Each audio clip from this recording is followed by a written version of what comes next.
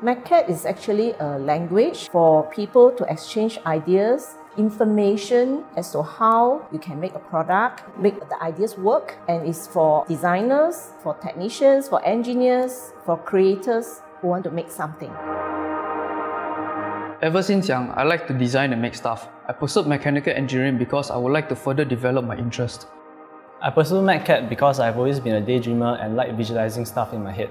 MechCAD gives me the opportunity to visualize many mechanical parts, which is an interesting challenge for me.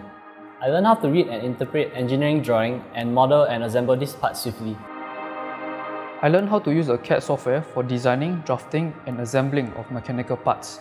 As an engineer, this is very useful because it can help me in my design development process. With MechCAD skills, there are many career options because MechCAD is actually the start of digitization for the industry.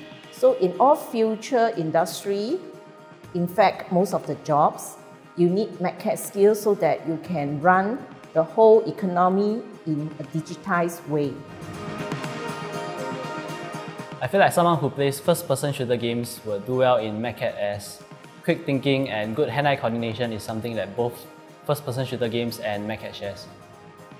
To be good at MechCAD, one needs to be very observant, very neat, and of course very good in engineering and computing skills.